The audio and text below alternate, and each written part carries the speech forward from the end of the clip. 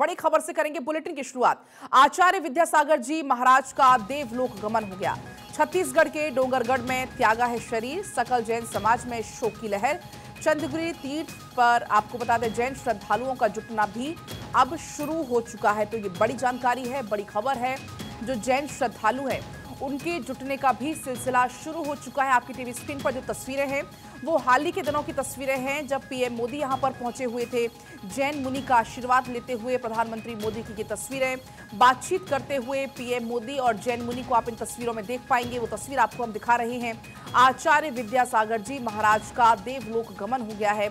छत्तीसगढ़ के डोंगरगढ़ में उन्होंने अंतिम सांस ली। उन्होंने अपना शरीर त्यागा। सकल जैन समाज में इसके बाद शोक की लहर दौड़ पड़ी है। चंद्रगिरी तीर्थ पर जैन श्रद्धालुओं के जुटने का सिलसिला भी अब शुरू हो चुका है उनके अंतिम दर्शन के लिए। छत्तीसगढ़ के डोंगरगढ़ में उन्होंने अपना शरीर त्यागा, सकल जैन समाज में इसके बाद शोक की लहर दौड़ गई। तो ये बड़ी जानकारी है। आचार्य विद्यासागर जी महाराज का देवलोक गमन हो गया। छत्तीसगढ़ के डोंगरगढ़ में उन्होंने शरीर त्यागा है, सकल जैन समाज में शोक की लहर।